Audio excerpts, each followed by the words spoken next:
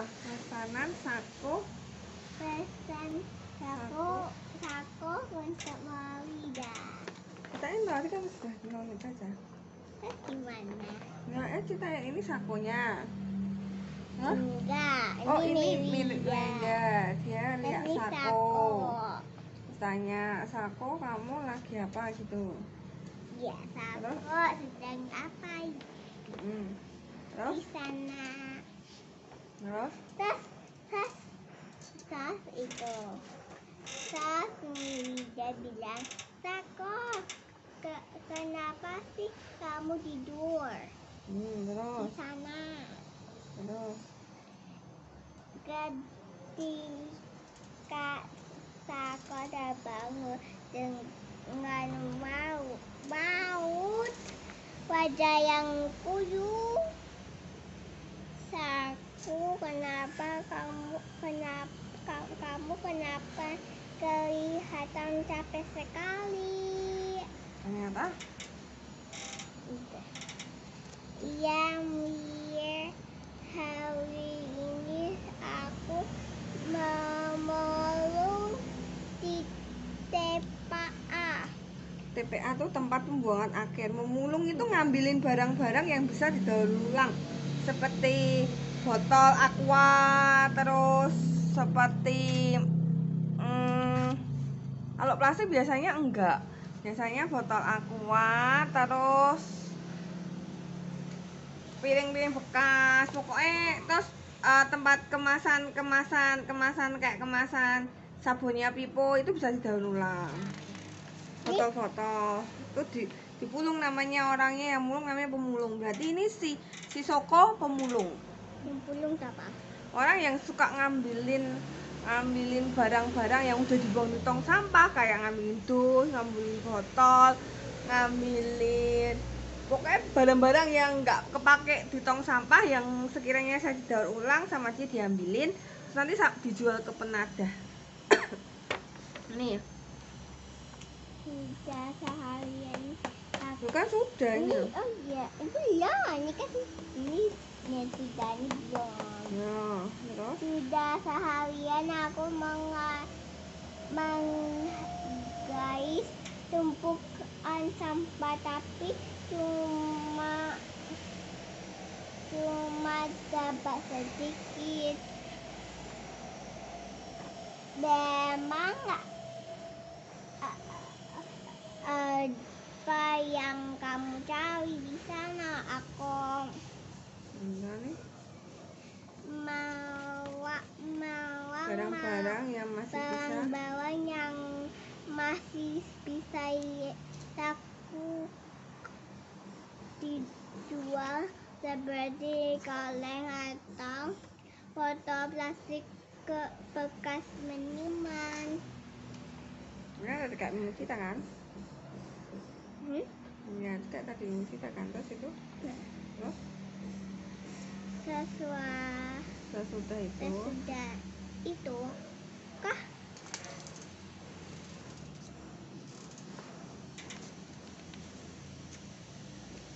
Sesudah itu kah mencari sesudah itu bau kah mencari barang bekas? Dia tanya. Biasanya terus dia bilang si ini ya si Soko si Sako ya kalau sudah tercampur semua jadi gunungan sampah ya sulit. Terus dia diajak pergi ke ke tempat pembuangannya toh. Hmm, setelah minta izin sama mama papae dia diajak pergi sama Sako ke ke tempat pembuangan sampah pembuangan sampahnya. Terus terus gimana lihat Hmm. terus oh bau. Ya tau terus si Miranda Bau. banget kok kamu kok kok tahan. Terus dia bilang si Sokonya bilang tiap hari aku membolak balik tumpuan sampah Mir. Jadi aku sudah terbiasa. Terus si Miranya nggak Mirandanya nggak kuat. Aduh nggak tahan. Ya ampun boe. Ya terus diajak yuk yuk yuk pergi yuk pergi yuk pergi yuk. Nah ini di di tempatnya ini nih. Di tempatnya apa? Terus setelah ke terus Miranda ini tanya kalau sudah sampai ke bukit? Sudah ngambil sampah di bukit sampah terus kamu ngapain? Nah terus biasanya barang-barangnya masih bisa dibersihkan dijual ke pengepul barang bekas nih. Pengepul barang bekasnya segini. Apa Apa? terus nanti ditimbang. Kalau yang yang bersih kalau bisa dijual ditimbang. Ini terus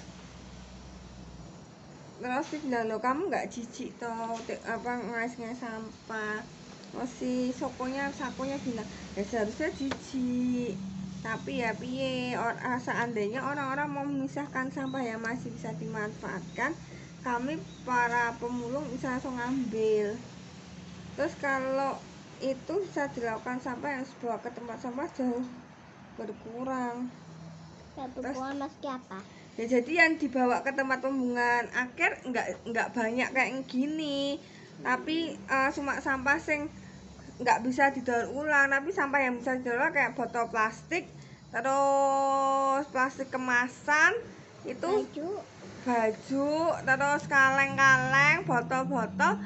Kalau dikumpulin jadi pemulungnya langsung bawa itu aja. Terus kan berarti kan sampah gede yang dibawa ke truk buat ke tempat pembuangan akhir kan jadi berkurang ini nggak banyakan. Terus eh kalau sampah dia tanya nih si sama Miranda kalau sampah di rumahmu dipisah-pisah nggak? Miranda bilang eh hmm, baru mau aku lakukan tapi sampah apa aja yang harus dipisahkan? Tanya tuh Miranda ya. Sakonya cerita "Eh, paling mudah pisahkan dulu antara sampah yang mudah terurai dan sampah yang tidak mudah terurai terurai tapi misalnya nih. Loh, hancur menjadi bagian-bagian penyusunnya. Jadi kalau yang bisa terurai itu berarti kayak daun. Ya toh nanti daun lama-lama bisa hilang. Kan kering kering kering kering kering akhirnya tuh kayak itu kan kering kering kering kering lama-lama hilang. Tapi kalau yang nggak bisa terurai itu kayak kertas yang nggak bisa terurai. Terus plastik juga. Terus botol kemasan kaca kaleng nggak bisa terurai jadi biasanya yang bisa terurai eh, ini kayak bekas bekas makanan kayak tulang itu bisa itu bisa terurai. Karena kan busuk apa apa terurai. Nah ini loh. Sahabat kuat tentu bisa membedakan loh nih. Sampah-sampah yang yang berarti yang mudah terurai nih tulang duri buah-buahan daun kering. Buah. Nah ini kak kertas, wadah kaca, wadah plastik, kaleng sama baterai aki ini nanti sama pemulungnya dia mereka suka ambil ini karena dijual lagi bisa. Baterai Tapi ini kalau gini, kalau ini nggak bisa jual lagi ini busuk hilang nanti lama-lama. Nah terus kalau ini, ini kalau ini ini pada bakal rusak. ini sudah rusak nanti ada ada apa barek yang bisa ini bisa kayak rekro, rekonduksi rekonstruksi ya. Jadi ini nanti bisa di itu lagi nih.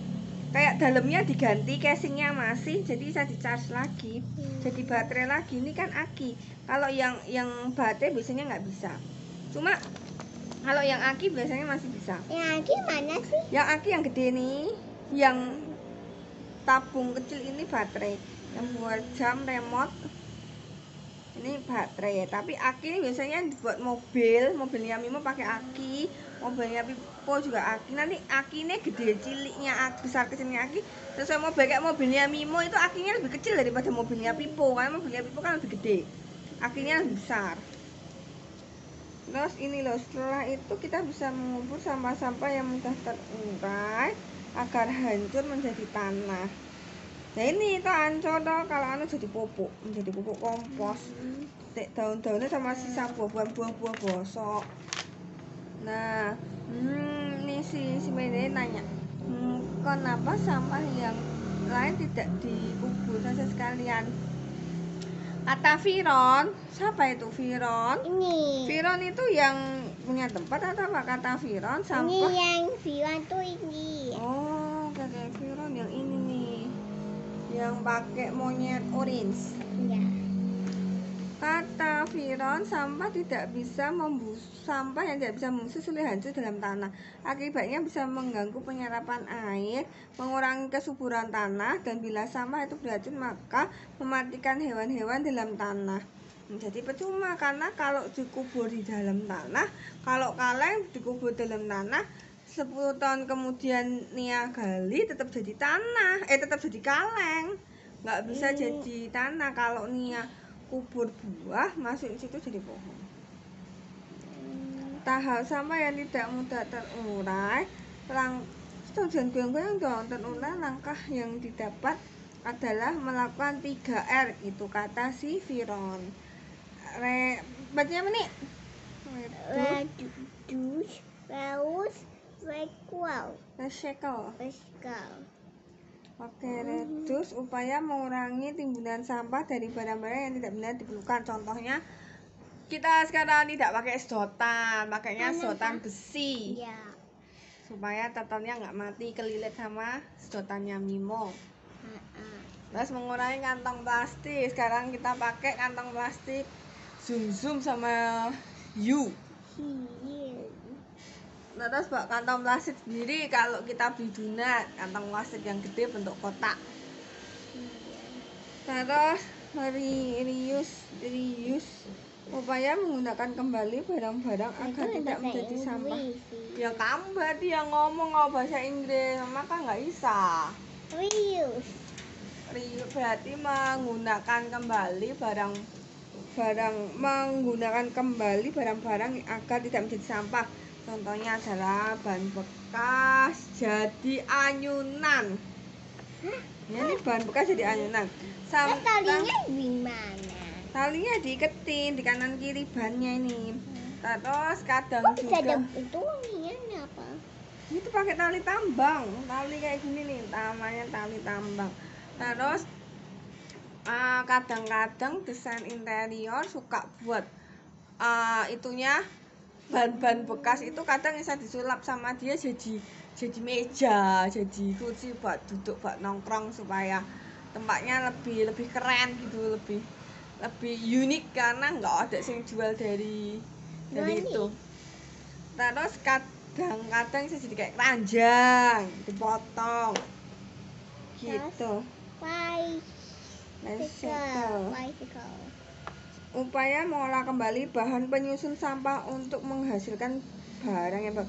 Nih, ini kan contoh penggaris penggaris plastik. Ya bang guys tuh buat apa? Ini dari plastik-plastik yang Nia jadi botol plastik biasanya. Botol plastik aqua, aqua itu sama kan tadi sama pemulungnya dikumpulin, terus sama pemulungnya dikasihin ke pengepul. Nanti sama pengepulnya kayak dipres di, di kan jual di pabrik jadi kayak dipres lagi dipanasin nanti jadi plastik kalau dipanasin kan jadi ini loh nih leleh ya kan? Nanti dicetak lagi jadi gini. Jadi kayak gelas plastik mangkok plastik botol aqua galon dan lain sebagainya itu nanti di itu dileleh lagi jadi plastik kayak gini. Terus jadi ini kan plastik juga nih botolnya luarnya. Ini. Gitu. Terus terus Miranda bilang baiklah mulai sekarang akan kupisahkan sampah-sampah di rumahku. Terus si Sokone bilang ajak teman-teman untuk melakukannya juga agar sampah kita lebih bermanfaat lingkungan kita pun jadi lebih bersih. Gitu. Sampahmu? Sampahmu? Gitu yang dipisahin. Bye